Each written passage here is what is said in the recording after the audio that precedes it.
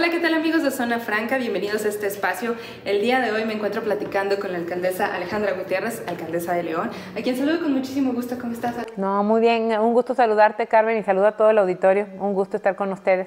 Pues gracias por recibirnos, además aquí justamente en las oficinas donde atiendes, de donde despachas a todos los leoneses, para hablar un poquito sobre lo que fue el año 2022 y los proyectos para 2023. Ale, ¿cómo se hace este balance?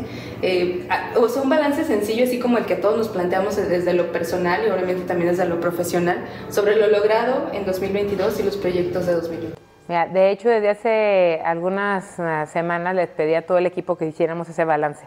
Y lo tenemos que hacer, como tú lo dices, desde lo personal, como también la parte institucional, porque siempre tenemos que ver qué, hicimos bien, qué podemos mejorar, qué podemos dar de más como personas, como servidores públicos y también como institución, porque siempre va a haber cosas que, hacer mejor.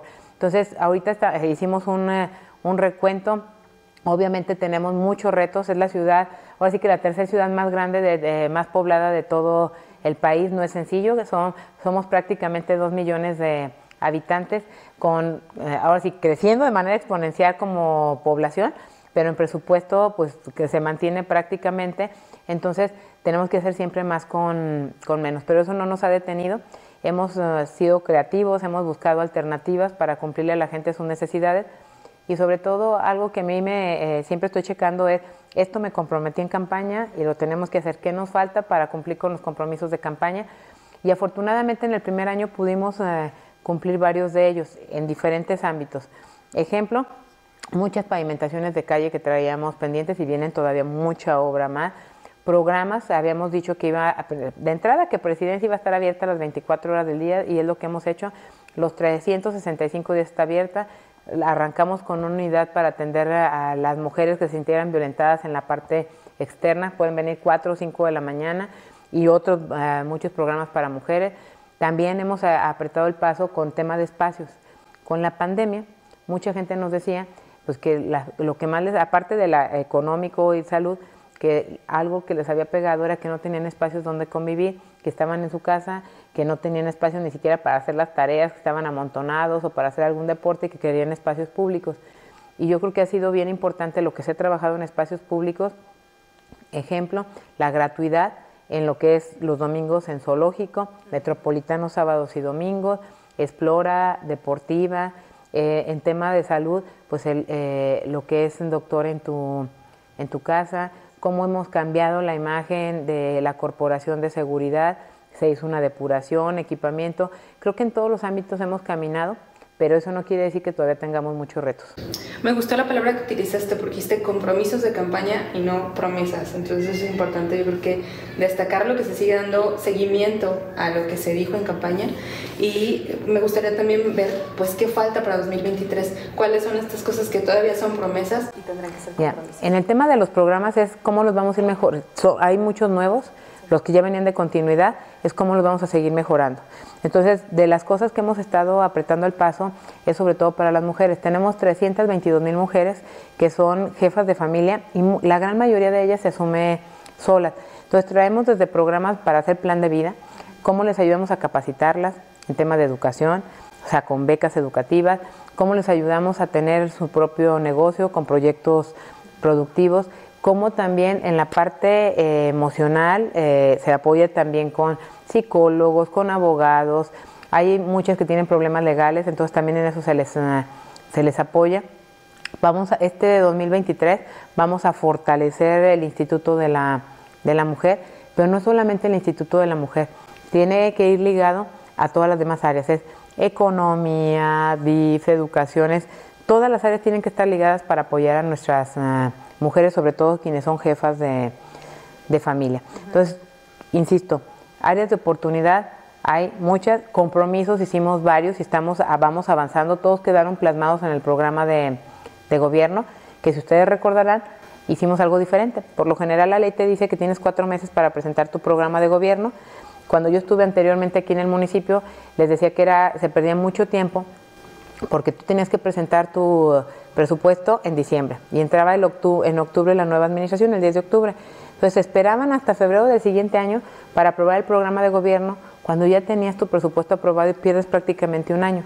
Y nosotros lo que hicimos fue trabajamos en la transición hicimos de escucha ciudadana, escuchamos a la gente, presentamos el programa con diagnósticos, con profesionistas y profesionales que nos ayudaron.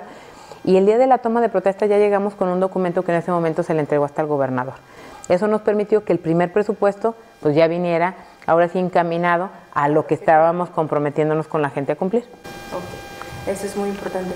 Ale, eh, en el aspecto, por ejemplo, desde las convicciones personales, desde la experiencia que has traído al participar en otras administraciones municipales, al participar también en otros cargos como el Congreso, eh, en áreas también financieras, eh, ¿cuál sería el sello personal que puedes decir que le estás dando a este gobierno? Desde el primer día yo he dicho que esta administración se tiene que recordar por ser una administración cercana, humana y de resultados. ¿Y por qué? porque tenemos que estar cercanos a la gente, no es nada más que te encierres en un escritorio. Cuando tú dejas de ver el dolor de la gente, te vas a equivocar.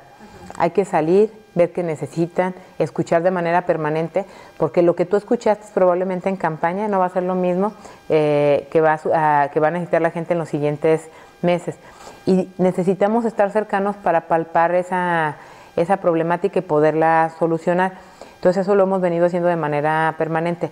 Por eso empezamos con programas como el miércoles, nuevamente, el miércoles ciudadano, donde vienen a veces hasta 1.300 personas en un miércoles, donde tenemos Mi Barrio Habla, donde escuchamos a toda la colonia a ver cuáles son las problemáticas, son siete mesas, viene la propia ciudadanía, se les invita de manera general cuáles son sus problemas y cómo juntos vamos a resolver esos problemas y hacemos compromisos, al final firmamos compromisos y le damos seguimiento a los mismos presupuesto participativo, es cómo empoderamos al ciudadano, cómo hacemos que venga y nos diga, que levante la voz, que levante la mano y que sea parte de la administración, que eso tiene que ser un sello. Y eh, la otra es entendiendo que la persona debe estar al centro de todas las decisiones. Y el tercero es de resultados, porque de nada te sirve ser humano y cercano si no das resultados. Si nada más escuchas, si solamente estás pendiente y no se ve reflejado en resultados para la gente, pues no sirve. Entonces tiene que ser las tres cosas. Así, me, así queremos que recuerden esta administración. ¿Cuáles han sido algunos de los aspectos en donde todavía se puede mejorar mucho más y en donde los, las acciones que se han hecho hasta este momento han resultado todavía insuficientes, por así llamarlas, y que tienes todavía eh, pues espacio para mejorar en lo que resta de la Todas. Desde que entré les dije que aquel que me dijera que su área estaba al 100, era el funcionario que no tenía que estar ahí, porque todas las áreas son perfectibles y mejorables de manera permanente. Quien ya dice que su área está ya bien fregona y no hay nada que hacer, es el primero que no debe estar ahí, porque te quedas en un área de confort. Todas las áreas son mejorables, por eso todo lo, cada, cada semana estamos buscando cada día hacer eh, las cosas mejor que el día anterior y no es compararte con otros, es compararte contigo mismo. ¿Cómo es la administración ayer? y cómo queremos que sea hoy y cómo vamos a hacer mejor mañana y en un mes y en un año. Eh, uno de los retos más importantes obviamente es seguridad y que no le toca solamente a seguridad solo el mejorar la, eh, eh, el ambiente de la ciudad. Para que vivamos en una ciudad ahora sí con menos violencia, más segura, necesitamos que todos aportemos. Por eso le estamos apostando al programa de prevención social del delito y la violencia, que también salió luego, luego en cuanto entramos, todavía no terminaba 2021 y ya teníamos nuestro programa aprobado y en el presupuesto ya se estaba considerando para 2022 en 2021, ¿no? Entonces, tenemos que apostarle a la educación, a la cultura, le estamos apostando a la capacitación de los elementos, a mejorar sus prestaciones, una depuración importante. Entonces, son muchas acciones porque la seguridad no se hace con una sola acción. así como la inseguridad es multifactorial, la seguridad la construimos todos con diferentes acciones. Oye, en este sentido, creo que cuando iniciaste la administración municipal, a los pocos días se dio un atentado en contra de unos elementos de policía en una caseta. Por desgracia, estos ataques a policías han sido no constantes, pero sí han sido pues frecuentes, recurrentes en algunas ocasiones. Este año, eh, bueno, más bien el año 2022 cerró con eh, seis policías asesinados en León. ¿Qué acciones están tomando justamente, además de la depuración, para la prevención de estos ataques a policías y para garantizar que los ciudadanos confíen nuevamente en las corporaciones? Para mí así hubiera sido uno solo, es doloroso, ¿sí? Porque son compañeros, porque son, ahora sí, eh, ciudadanos también que tenemos que velar por ellos, así como ellos nos cuidan, nosotros también tenemos que cuidarlos. Así hubiera sido uno, es muy doloroso perder a un eh, compañero. ¿Qué tenemos? Ah, pero también es importante destacar que somos el municipio con más elementos eh, de, policía y que no es, no, no, no quiero comparar, pero al final de cuentas ha sido menor. Sea, lamentablemente hay un riesgo al, tener este trabajo, que quisiéramos que ninguno de ellos se, eh, se nos fuera, pero hemos estado apretando el paso en capacitación, en hablar con ellos, en, buscar cómo la propia tecnología nos ayude a, mejorar sus propias condiciones de trabajo, a que tengan herramientas como armas, como chalecos, como mejores patrullas, mejores salarios, para poder estar eh, eh, mejorando esta situación. Pero si queremos un león tranquilo, insisto, es con la prevención. Y la prevención empieza a veces desde casa. Muchas de las vidas que se pierden o o hechos ilícitos es detrás de una puerta, detrás de una casa. Desde el marido que golpea a su esposa, a quien golpea a un niño, desde mm, dentro de un negocio a puerta cerrada. Entonces lo que tenemos que hacer es reconocernos como hermanos en la ciudad, que todos vivimos en la misma ciudad, que todos participamos, desde denunciando, desde eh, participando en, buscar soluciones preventivas en, en, una colonia, cómo se arman los grupos de WhatsApp en las colonias, cómo estar reportando, cómo entre todos se capacitan y nosotros estamos ayudando en las capacitaciones, nosotros estamos dando las herramientas con cámaras, con eh, ahora sí que con tecnología, con grupos de investigación, mejorando la capacitación de los elementos. Y por dar un ejemplo, veníamos con policía que tenía de preparación seis meses y hoy están saliendo de 12 meses. La primera generación sale ah, después del 20 de, como a mediados de, enero, ya ahora con 12 meses de preparación, pero no nada más son los meses. Venían de un poquito más de 900 horas de trabajo, de estudio, y ahora serán más de 2.600 horas.